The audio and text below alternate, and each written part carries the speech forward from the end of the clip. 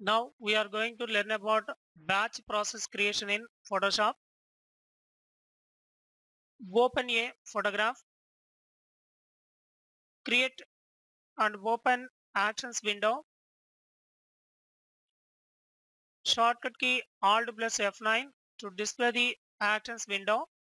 Click the button create new action and select default action or specify function key and select shift control combination and a color on actions window.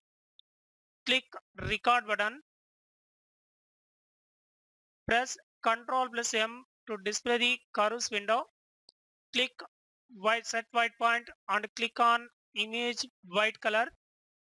Click the button set black point and click on image black color. Select this red curve and adjust click the button OK and click stop recording button on actions window.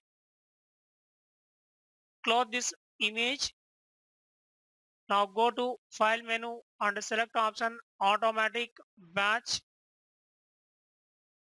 Click the button choose select images folder batch click OK button